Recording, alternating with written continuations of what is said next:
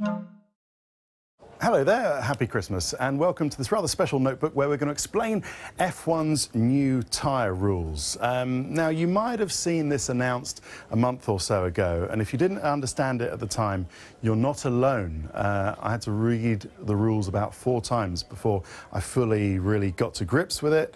Um, and I've spoken to Pirelli and I've spoken to a lot of the teams. So, what we're going to do is, is explain, with the help of uh, my daughter's uh, Play-Dohs, which are representing um, a set of tyres, exactly what compounds they can use for the first three races, how many they get, how the teams select them, and then when the teams are going to use the compounds they've got and how it's going to affect the racing. Now, the first thing to talk about is why have we got these new rules? Well, it came from the teams. They decided that like Force India or Ferrari, that they could do with running softer compounds now and again, and the, the tyres shouldn't be so hard all the time. That might give them some more strategic probabilities and options to play around with in the race.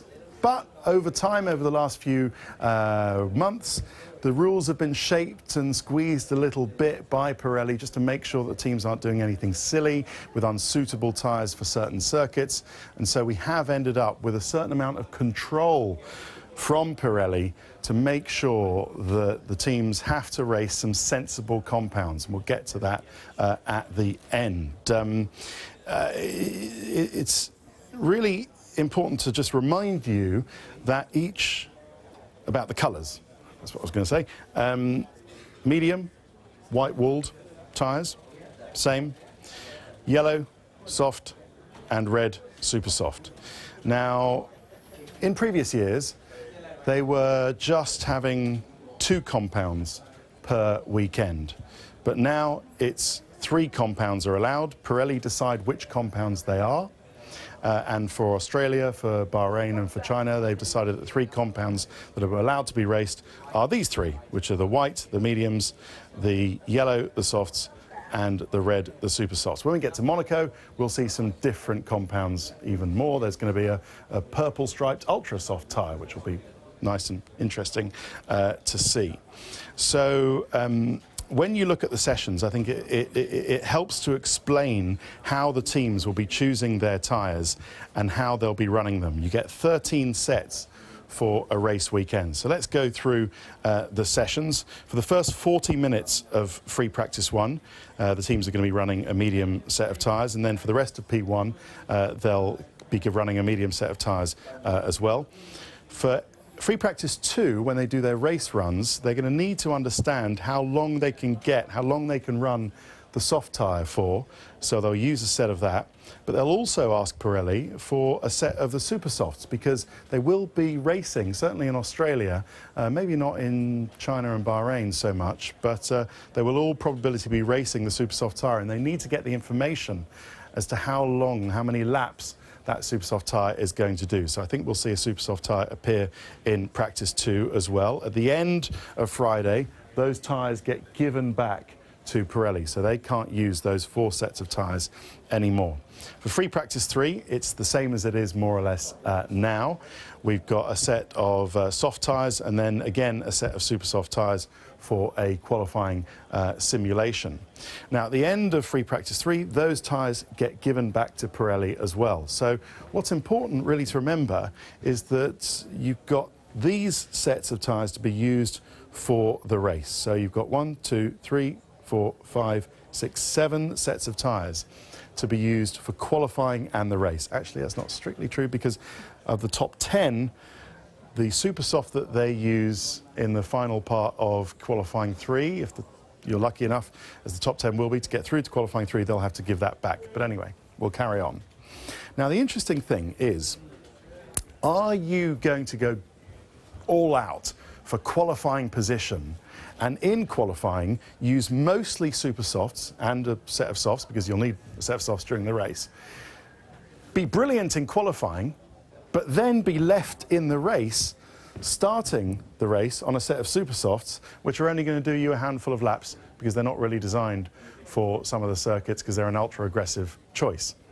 Or are you going to play extra safe and actually be left with tyres that you can do fewer pit stops on, because the tyres will last longer, allowing you longer stint lengths. And that really is the biggest quandary as to how the teams are going to use and work these regulations to their best advantage. But we'll go through qualifying one anyway. Um, most people will, certainly the, the, fastest cars, will try and get through Q1 on a set of uh, soft tyres with the, uh, the, the, the, yellow stripe. Uh, if they can't, they'll go through it with a set of super softs the way they do now. Now, Q2 is an interesting one. This is why we've made it quite big and pink. That's because the rule about starting the race on the set of tyres with which you set your quickest lap in Q2 is still there.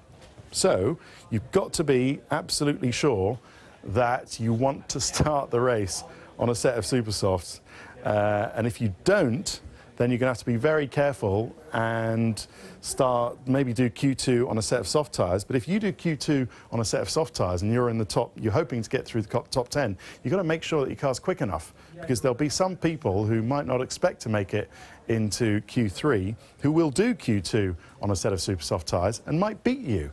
And if you're just thinking about your race, you might end up outside of the top 10 anyway which will make your Sunday rather harder. So that's the, another one of these balancing acts, this trade-off that the teams are going to have to do. But let's say we get to Australia, which isn't particularly hard on tyres, and uh, you qualify very well uh, on your super soft tyres in Q3, Q2, then you get to Q3 and you'll get your super soft tyres and try to get as high up the grid as possible. So, what for the race? Well, the race start will then become this tyre with which you start, with which you set your fastest lap in Q2, becomes your race start tyre, as it does now. But then what Pirelli have said, this is another element of the new rules. Pirelli have said that they will nominate two sets of tyres which can only be used in the race. And for Australia, for China and Bahrain, they have said that they will nominate a set of soft tyres and a set of medium compound tyres. But you only have to use one of them. You are only obliged to use one of those sets. You don't have to use them both. So what we'll probably see in Australia is everybody starting uh, on the super soft tyres, that is in the top 10, and then changing to the soft tyre in the first stint. And if they fancy it, they don't have to, going to the medium tyre for the end. What they'll probably do is actually use the set of softs from Q1 to go for the end. So what was a one-stop race because of the tyres last year in Australia will, will probably become a two-stop race this year, and we're probably going to see one more stop uh, in most strategies. So what was a two-stop will become a three-stop, uh, and so on.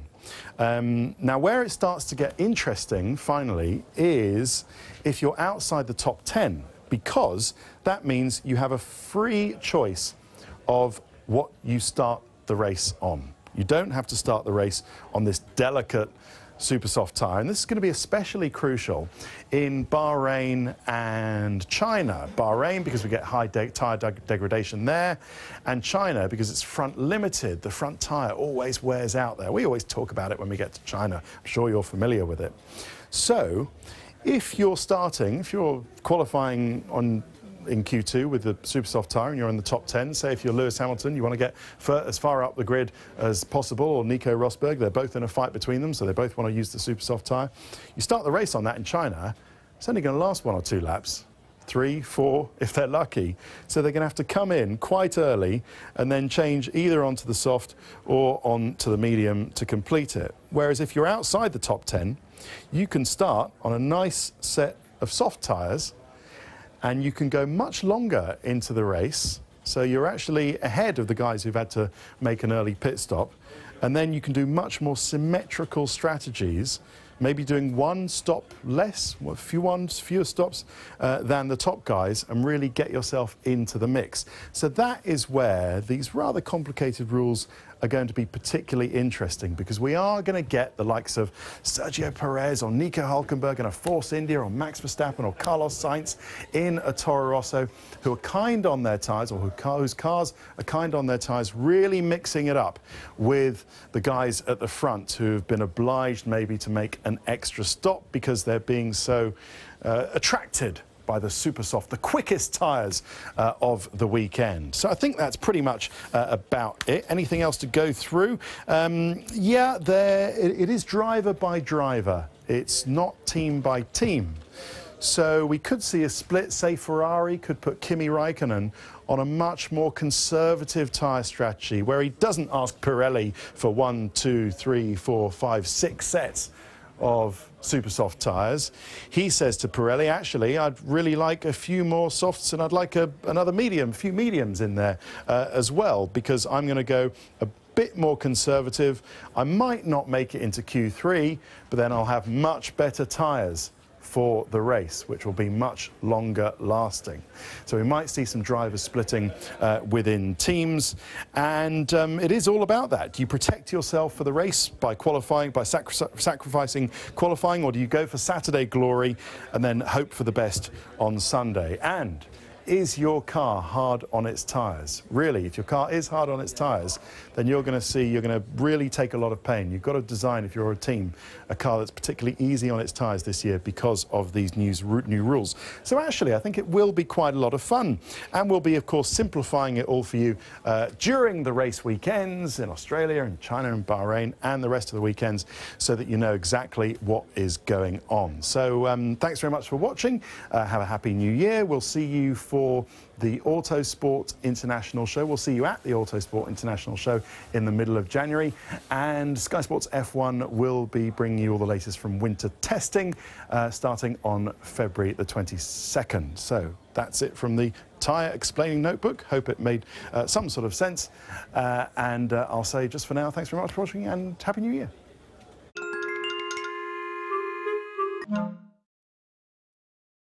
Enjoy Sky Sports Live on all screens, on the go, and the best bits on demand.